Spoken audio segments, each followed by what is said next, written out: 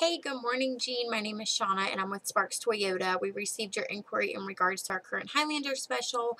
I just wanted to thank you and quickly introduce myself and let you know we look forward to working with you.